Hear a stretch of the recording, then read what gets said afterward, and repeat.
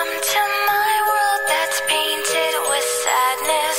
There's no light of sun, and you can't hear any sound that I'll hear. I'm waiting silently for you, Father. Why were you so cruel? Why do you leave me?